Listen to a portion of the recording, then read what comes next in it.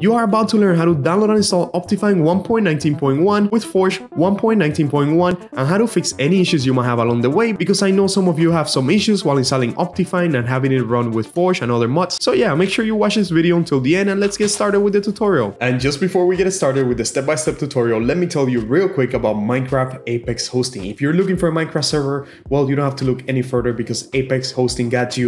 Right now, besides all the advantages that Apex hosting provides you with because they have a lot, you could create a Java Bedrock server with Forge, Fabric. You could add Optifine, anything, any mod you want to add. They also have 25% off your first server, which I believe is amazing. I love Apex hosting because there's something really fun that I like is that you could actually access a server console through your phone. Doesn't matter if it's Bedrock, Java, you could access a server console through your phone and mess with your friends and troll them while you're away from your computer and I think that's amazing. Anyways, once that's said, check that first link in the description if you want a server right now with 25% off. And let's get started with the tutorial. Well, step number one of installing Forge with Optifine is obviously to install Forge.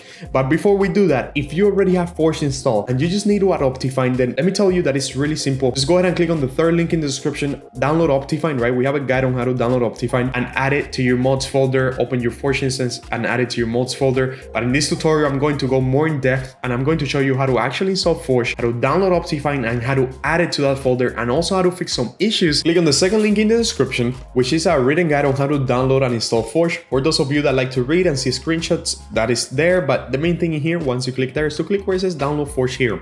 That is going to redirect you to the Forge website. In here, we're not going to click installer just yet because as you can see, it says 1.19 and we are actually looking for 1.19.1. So just look here in the left and you see it says 1.19.1. Go ahead and click on that. That is going to bring you over here where we're finally going to click installer. Just always check what version you're looking for and select it. And then once you find it, click installer. That is going to redirect you over here where in 5 seconds a button will appear in the top right that will say skip. We're going to click that button. Let's just wait for that to appear. And as you can see, it's about to appear. There we go. Go ahead and click on skip and that is going to start the download for Forge or at least for Forge the installer. In my case, it asks me where I want to save it, but for you, it's probably going to download automatically. As you can see here in the bottom left, I already have Forge and I'm going to go ahead and drop it into my desktop.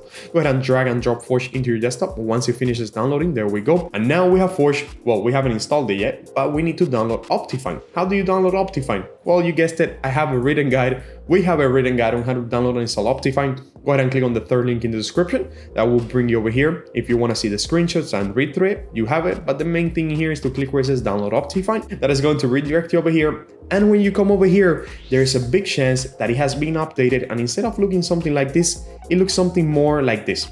Like you come over here and it says Minecraft 1.19.1 download already. But in my case, it says preview versions. You're gonna have to click there if it still says that. Go ahead and click in there and you're going to download it here, right? But probably when you come over here, that is going to be already there and you're just going to click download. That is going to redirect you over here. Again, in five seconds, a button will appear in the top right. I already know that you learned this part because you're very smart. So once you see the button that says skip, go ahead and click on that. That is going to redirect you over here where we're going to click download. That is going to start the download. In my case, it's asking me where I want to save it, but for you, it's going to download. Once you have Optifine, as you can see, I already have it. Go ahead and drop it into your desktop. You can put it next to your Forge jar file. Go ahead and wait for that to finish downloading. As you can see, we still have that blue circle in there. Once that blue circle goes away, and should be, there we go. Now we have Optifine and we have Forge. Now, ideally, we could already start installing Forge and then installing Optifine. But any Minecraft, at least on Java, any Minecraft above 1.16.5 would require you to update the Java of your computer. Don't get those confused. I'm talking about the Java, not the Java Minecraft. Yes, Minecraft Java runs on a software called Java, and that software needs to be updated in order for modded Minecraft to work. How do you update that software? Well, first you want to check if you already have it updated. Go ahead and click where it says type here to search and type add or remove programs. Go ahead and click on that, and here where it says search this list, type Java. As you can see, I already have Java 18, which is the newest Java available. But in your case, you probably have Java 7, Java 8, or maybe you even have Java 17. And if I'm not confused, Java 17 should work without any issues. However, I like to have my Java updated to the newest one, which is a Java 18. If you need to update your Java, right? Let's say you come over here and you see Java 8, or maybe you don't even see any Java at all. If you see any Java that is not the one that you want, 17th or 18th, go ahead and click on it and then click on install. But if you come over here and you don't see any Java, what you're going to do is click on the third, no, fourth link in the description, which is our written guide on how to download and install Java. Once you're here, you're going to click, well, you're going to scroll down and click on the button that says download Java here.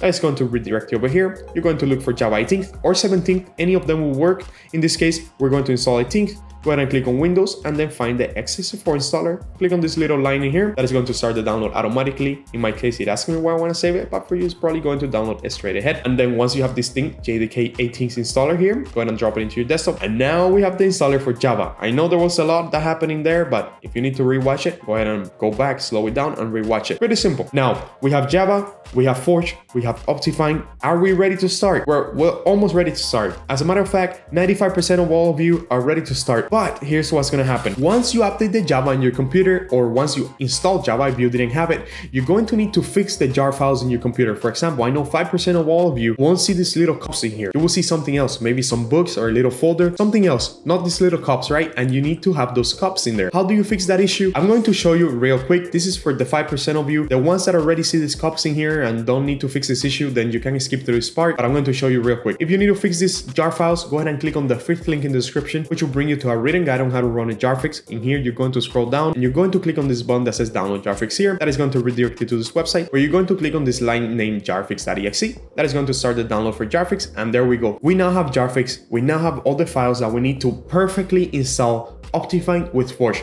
We can now close from the browser. Don't close this video because you don't want to get lost. And now we can start. Well, obviously the first thing you want to do is install Java. Go ahead and double click on Java 18. Go ahead and click on the installer. Once you click on the installer, it's going to prompt you with the administrator sign. Go ahead and allow it. And then it's going to start the installation. In my case, it's saying you already have the software. Do you want to reinstall it? I'm going to reinstall it just so you guys could see how to do it. But I'm going to go ahead and click on yes, but you're not going to get that. You're probably going to get the installer straight away. I'm going to show you how the installer looks in a second. Let's just wait for this to finish uninstalling. And this is what you're going to get. You're going to get this little sign here where you're going to click next and then next and you're going to wait for Java to install. Installing Java should be super, super simple. And as you can see, after a little bit, Java finished installing, you could go ahead and click on close and you could even delete the installer. I went ahead and deleted the installer. And now this is the moment where we run the jarfix. To run jarfix is super, super simple. Go ahead and double click on jarfix. Once you double click on jarfix, you're going to get an administrator sign. Go ahead and allow it. And then this is what you're going to get after that, saying that jarfix runs successfully. Go ahead and click on OK. And now you could even delete jarfix and now you're done. You updated Java and you updated your jar files, these files in here. By this moment,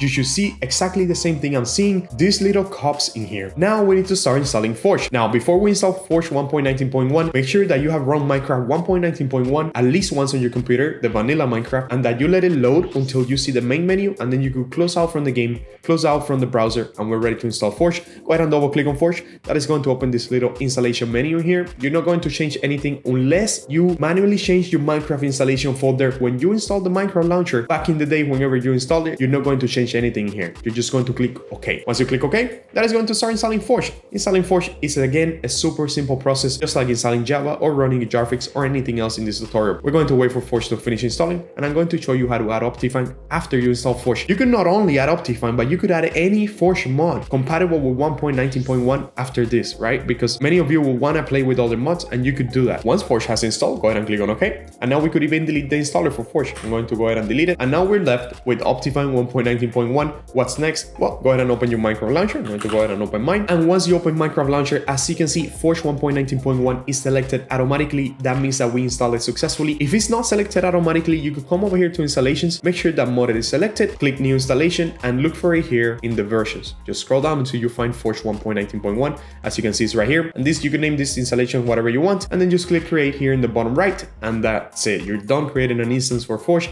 In case it didn't show automatically here, but for most of you, 99% of you, it will show automatically. Now what's next? How do we add Optifine? Well, it's really simple. Go ahead and hover over where it says Forge. Once you click on installations here, hover over, click on this little folder that appears. That is going to open a bigger folder. We can minimize the launcher for now. And we're going to look for a folder called mods, M-O-D-S. As you can see, I have the mods folder right here, but chances are when you come over here, you don't have a mods folder at all. So I'm going to go ahead and delete mine. How do we add the mods folder? Well, it's really simple. Go ahead and click right click, click new, click folder and type MODS. Done. You already added a mods folder. I know many of you wouldn't have it when you came over here to Forge, but now you do. And in here is where we're going to drag and drop Optifine. Go ahead and drop Optifine in there. We can now close out from this folder. We can now open the launcher and launch Forge finally to test out our Optifine. Go ahead and click play. And as you can see, we're now Minecraft. If we click where it says mods, we can see that Forge is installed. If we go over here and click on options and we click on video settings, we could see that Optifine is showing because we have the shaders option and this menu looks a little bit different. So that means that we added Optifine successfully. I'm still gonna go ahead and launch a world and see if we could see the shaders. And as you can see, the game has loaded. We have Forge. I'm in creative right now because I'm trying to get a nice thumbnail for this video precisely. But as you can see, we now have Optifine, we have